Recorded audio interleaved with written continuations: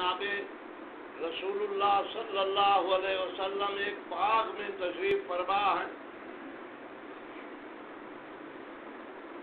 मर्रा जुलून एक आदमी गुजरा। साहबी जो दरवाजे पर बैठे थे गालिबन हज़रत अबू शहीद खुदरी रज़ी अल्लाह ताला वो भी हुजूर को ढूंढ रहा है। हज़रत अबू शहीद फरमाते हैं, मैंने उनके पास जब वो मेरे पास आया, मैंने कहा, ठहरो हुजूर, अंदर तशरीफ़ फरमा है। मैं उनसे पूछ कर आता हूँ, इजाज़त ले कर आता हूँ। तशरीफ़ ले गए। ससम अबू बकर सिद्दीक आए हुए हैं। वो इजाज़त चाहते तो हज़रत अबू बकर सिद्दीक को आपने फरमाया इजाज़त दे दो आने की और उनको कहो कि तुम जन्नती फिर कुछ देर के बाद हज़रत उस्मान हज़रत उमर आए। उनके लिए भी इजाज़त तलब की तो उन आपने फरमाया कि उनको भी जन्नत की खुशखबरी दे दो। और उनको इजाज़त अब अबू बकर सिद्दीक आए एक कुआँ था। एक तरफ़ हुजूर जहाँ एक उसकी मन पर, कुएँ की मन पर आप बैठे हैं। पाँव कुएँ में लटकाए हुए। हज़रत अबू बकर सिद्दीक आकर के हज़रत रसूलुल्लाह के साथ बैठे उसी तरह पाँव कुएँ में लटका दिया तीसरी मरतबा हज़रत उस्मान आए रज़ी अल्लाह ताला उन्होंने इजाज़त तलब की तो अब ये कुएँ वहाँ के छोटे होते हैं।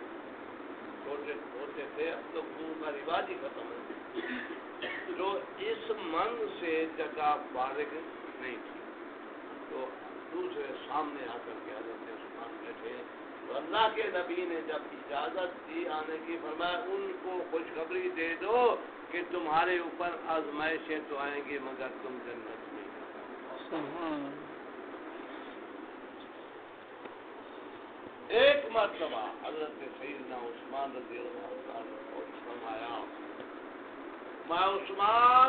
मुझे अल्लाह के नबी ने फरमाया उस्मान तुम्हें अल्लाह एक कमीज पहनाएगा तेरी वो कमीज लोग उतारना चाहेंगे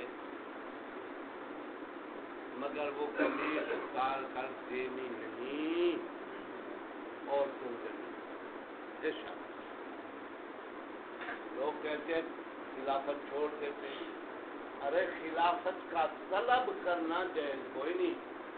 मिलने के बाद उसी तरह उसका छोड़ना भी जायज़ कोई नहीं। तो हज़रत उस्मान को खुद अल्लाह के नबी ने जन्नत की बिशारत भी दी और आने वाले आजमाइशों के बारे में भी एक साहबी फरमाते हैं कि मैंने देखा एक आदमी जा रहा है। सर पर कपड़ा डाला हुआ है, मुँह छुपाया हुआ है, क्योंकि हज़रत से उस्मान रज़ी अल्लाह तआला की सिफत खास थी कि फरमाया आ या हम उस्मान इब्न अफ़ान हज़रत उस्मान इब्न अफ़ान पर हया बहुत ज़्यादा हुआ है। इतनी कि अल्लाह के फरिश्ते भी उनसे हया तो हज़रत सैदना उस्मान रज़ी अल्लाह गुजरे। कपड़ा मुँह लपेटा हुआ था कपड़े के साथ। नबी पाक से फरमाया ये बंदा जन्नत ही जा रहा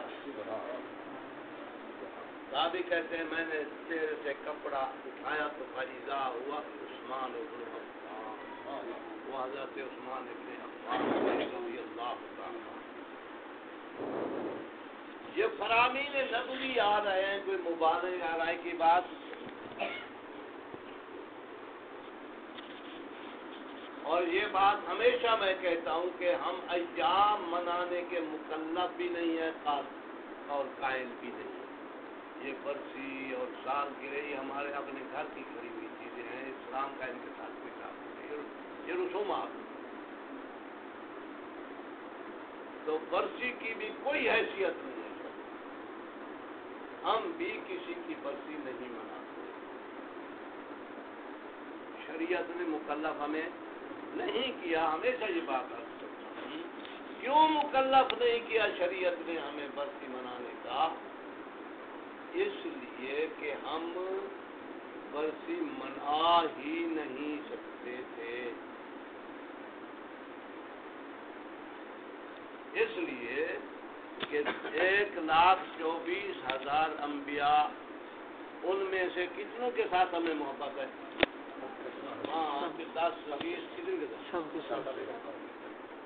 हमारी ज़िंदगी के साल बड़े से बड़े समझ लो सत्तर अस्सी साल।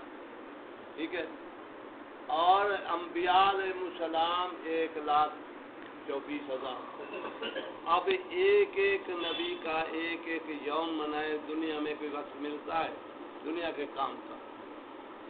एक लाख सहाबा एक लाख चौबीस हज़ार या चालीस हज़ार तो आए मैदान अरफात में हुजूर के साथ।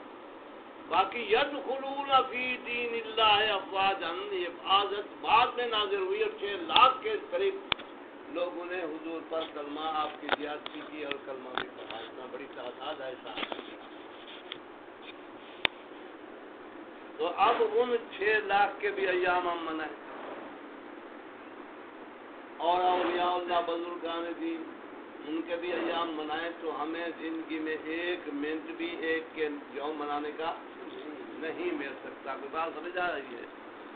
इसलिए लायुकल्लाह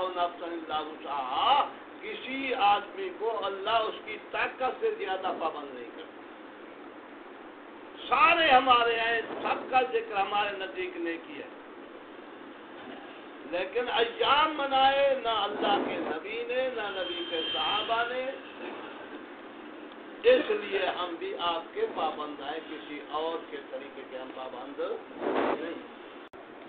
हज़रत सैदना उस्मान रज़ी अल्लाह को इस महीने की अठारह तारीख में शहादत पाते और इनकी मजलूमियत की शहादत जो है इसके सिलसिले में हम कोई दूसरी मिसाल नहीं पेश कर सकते।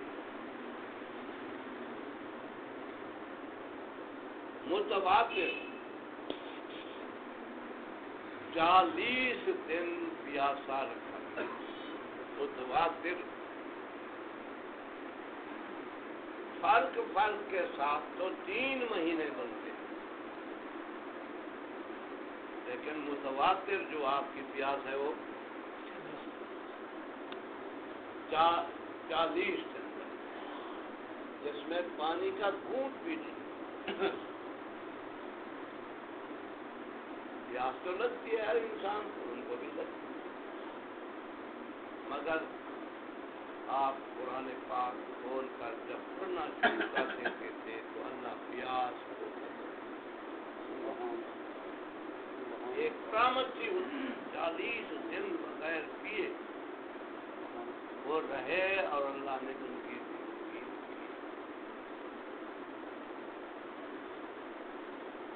इंतहाई मजलूम जिनके हथियार वगैरह कुछ भी नहीं, मकान में बैठे हैं, महबूस हैं निहत्ते हैं, उन पर हमला करके शहीद कर दिया गया।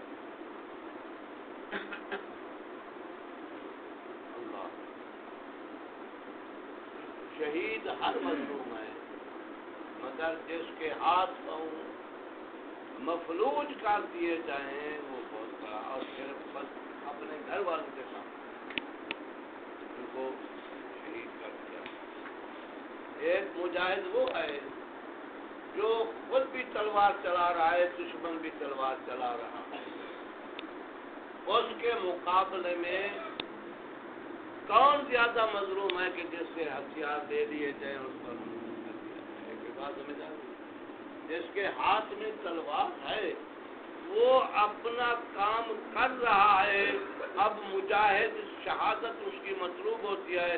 जब वो गाजी बनता है या शहीद बनता है, उसकी तो तमन्ना पूरी हो रही है कि मैं भी दुश्मन पर हथियार चला रहा हज़रत सईदना हुसैन रज़ी अल्लाह अन्हु बहुत बड़े मजलूम हैं, बहत्तर साथी उन समय शहीद होते हैं। बहुत बड़ा आसानी आए, बहुत बड़ा जुल्म आए, मगर हज़रत हुसैन आखिरी वक्त तक तलवार चलाते रहे। और हज़रत उस्मान को घर में बंद करके शहीद किया गया। हदीस में आता है